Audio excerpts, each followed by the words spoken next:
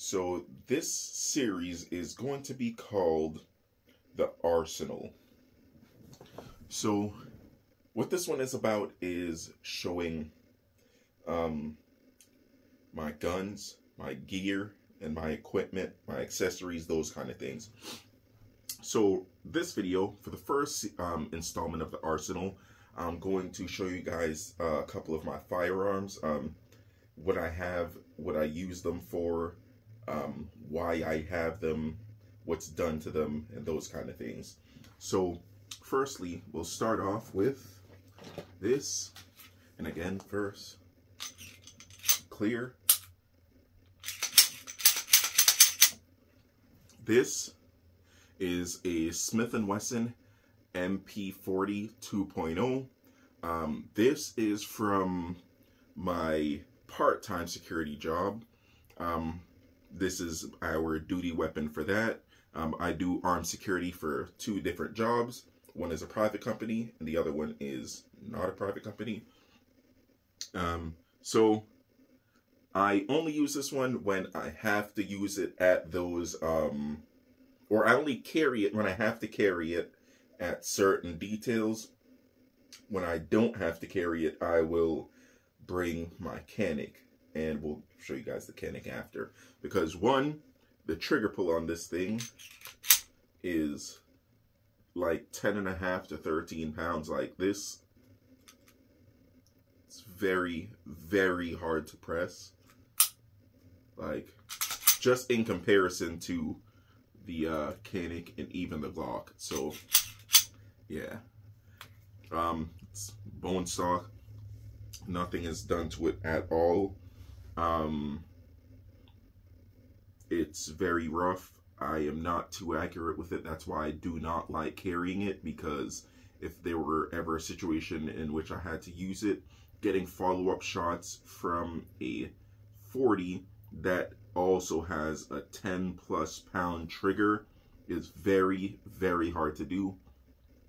Um, yeah, that's, I don't really have too much to say about this one because I don't like it, but it's just something I have to have. So yeah, and granted, I didn't pay for this because this is a duty weapon. So yeah, we'll set that to the side right here. Actually, we'll set it right here. Next is the Glock 17. This is for my full-time job. This is my other duty weapon. Again, it's empty, 100%, but let's boom. 100% empty. Safe direction. But yeah this is a glock 17 very basic. There's nothing done to it besides the um, beaver tail. And that's just because my hands are very big and using it without the beaver tail is horrible for me.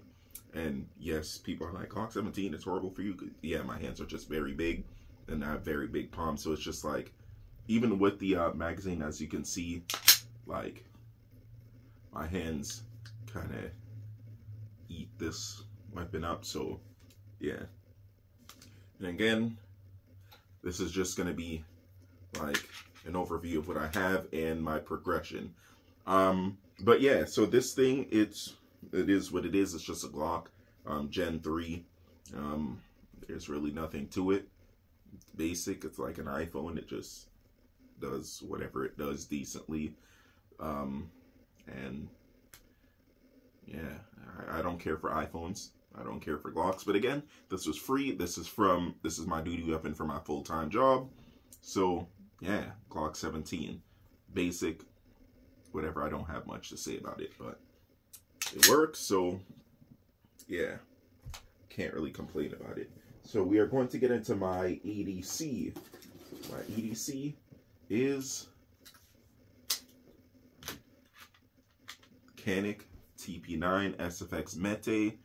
And you're probably wondering why the hell would I carry this thing with such a massive compensator. I'll show you guys the sizes to compare.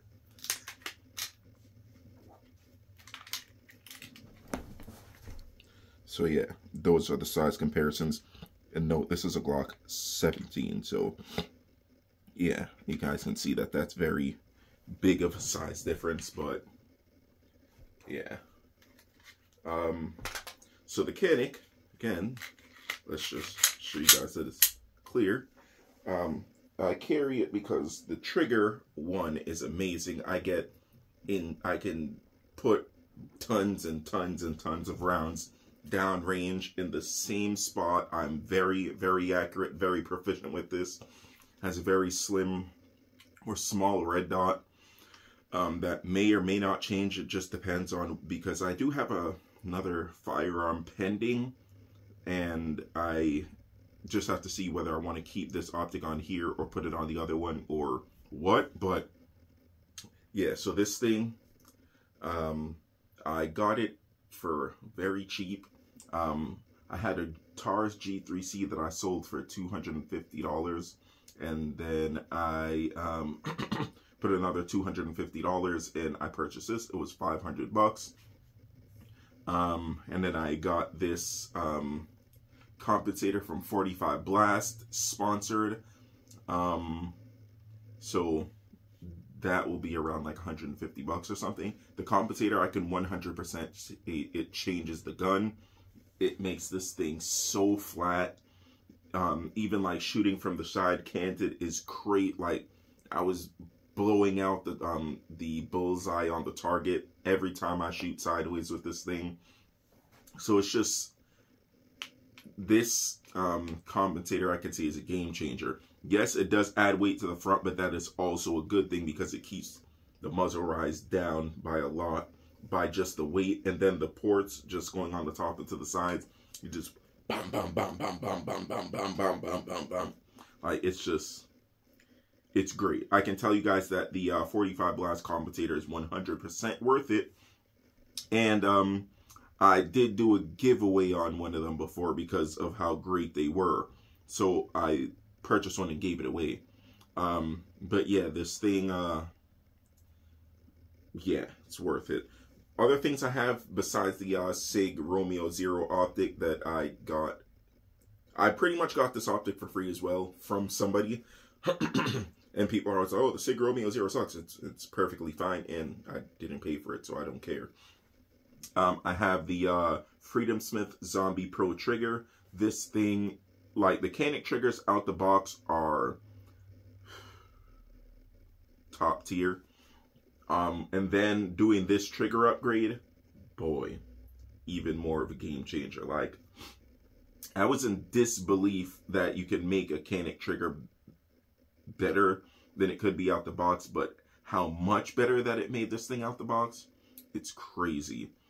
Um, I can't really describe it to anything, but it gives me the same kind of feeling I have that when I shoot 2011s and keep 2011s in mind for future reference. But yeah, and then it also has the uh, uh, one of the uh, larger palm swells that come out the box, and then it also has the uh, magwell that comes out the box. One thing about Caniks is you're gonna get the best bang for your buck because they're very affordable, competition ready out the box, and they have several mag plates, um, several palm swells, um, magwells, uh, cleaning stuff, a holster, all kinds of things. So yeah, if for people who want their first gun, granted they don't have safeties, but for somebody who wants a very, very good first gun that's pretty much like a cheat code because of how affordable it is and the quality and what you get, Caniks, 100,000% recommend them. So, yeah. This is my favorite pistol that I own and have ever owned because I've had a Taurus G3C before and something else. I don't remember. I don't remember what it was. But yeah, best pistol I've owned so far, and that will change in the very near future. So just keep that in mind. Next, we are going to go with, you guys already know what's in this one, but we'll go over it anyway because this is the arsenal. We have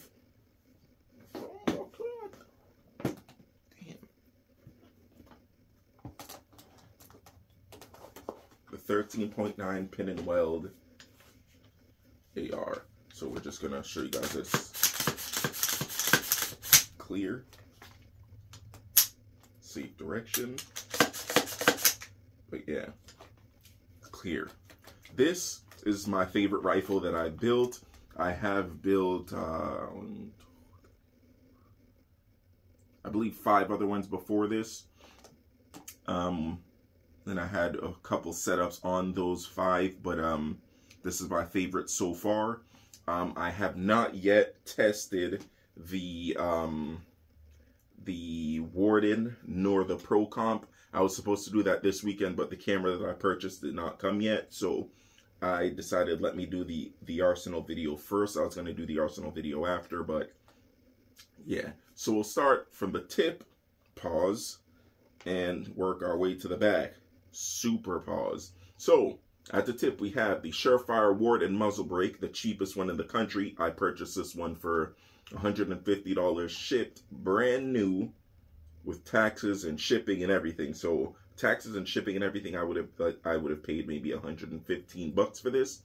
Crazy because they're 250 to 275 before shipping and taxes. I got the uh, Surefire Pro Comp underneath. Um, I can't take that out due to YouTube regulations because it's considered uh, assembling or disassembling a firearm. So you just have to take my word for it that there's one under here because, again, what, what would this thing attach to? Um, we have the Magpul M-Bus 2 irons. Um, paid retail for them. Don't care. They're cheap and they're very nice looking. They're definitely worth it. I don't want to really flag you guys, even though flagging is not real if you're not actually there but we're going to act like a gun is loaded every time. But um, yeah, the next we have the uh, Sightmark Optic. I forget how much I paid for this, but I also got this thing for super cheap, like 75 bucks or something. So that was definitely a good deal. Um, the upper is a Midway USA 13.9 pin and welded upper. It's a very, very budget friendly upper. It performs great. Um, it does get hot, like if you dump rounds down, but again, it's an upper. Um, it's a one and seven inch twist, so uh, one and seven twist, whatever. It's a one and seven twist. Yeah, this is a um, this foregrip. People hate. Some people hate. Some people love. Some people see them in movies and then they eventually love them. But I've had this for a few years. Um, I saw it on like an airsoft gun and I was wondering if it's like a real gun thing and it is. So this is a Harris CQR foregrip and it's kind of like in the aesthetic of a P90 or PS90. So I do like it. It's super cool. I have very big hands so with this I get a very very good purchase around because I don't like O grips which is like this. I don't really like that for whatever reason. It just doesn't feel right to me. I like a C grip and with this, I can get a very, very good C grip. And then I can also put my finger here. So I can very much like anchor this thing down into my shoulder very, very nicely. And then when the uh, magwell gets hot, you can see right here, I rest my thumb on the um, QD mount. And then I just, boom, press down on this thing. Keep this thing really far down, like even this, like a grip thumb here, index finger here so I can anchor it into my shoulder and boom, that's another way to hold this thing. Some people hold them here, here, here, here, here, all kinds of ways. It's a very, very like dynamic um, foregrip. And again, a lot of people don't like them. People say they look cheesy. To me, I really don't care. Not your gun, not your problem. I like it, so I'm going to use it. Um, my lower is an AR, is an Aero Precision M4, M4E1M, E41, whatever, Low, enhanced lower. Um, lower is great. I got it for like 200 bucks. Can't complain about that.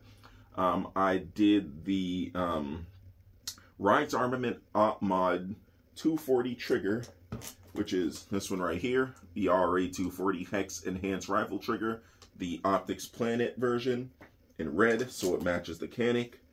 Um, as you guys can see, they match. Black gun, red trigger. That's my favorite aesthetic. I don't like all these kind of crazy colors. I've tried it, not my thing.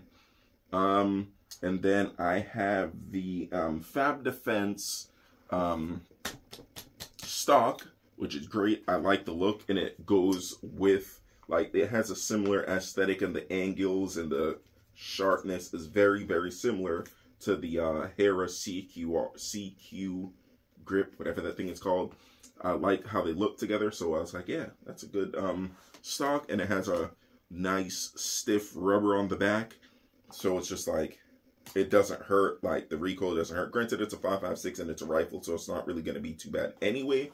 But you want the least bit of fatigue on your shoulders while you're like if you ever had to use this thing in a real life situation. But yeah, I think that's all. I don't think I have anything else done to this thing. Um, but yeah, we have to uh, go uh, test this thing at the range with the new muzzle brakes that being the Pro Comp, which is under the Surefire Warden. And then I have a couple magazines in here, or enhanced magazines in here, like uh, this one. Uh, all, well, all of these magazines have um, have Magpul internals, and this one has like the Magpul like handle thingy at the bottom. I'm gonna put this on all of them, and I'm gonna get a couple more magazines as well. But yeah, um, thank you for watching the first video of the Arsenal and um, I plan to grow my arsenal exponentially over the next few years because I am in security and I also do like firearms. So I'm gonna be getting more gear. I have some. I already have some body armor. I have some holsters. I have some duty belts. I have things that I do want to add to them. I have loaders and mag pouches and like clothes like boots and sneakers and like pants and all kinds of things and those are what you guys will be seeing in the future videos because um again not just for me to be spreading my business but i want to give you guys some options for people like myself who have very bad spending habits and are into things like fashion and like cars and guns and things that just cost a lot of money.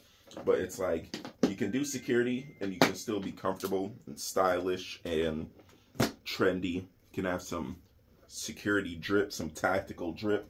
So we will be like showing you guys, or I will be showing you guys some tactical drip in the future pretty much with this um, series that we call The Arsenal. So thanks for watching, like, comment, and subscribe, and we'll get you some more content very, very soon. Peace.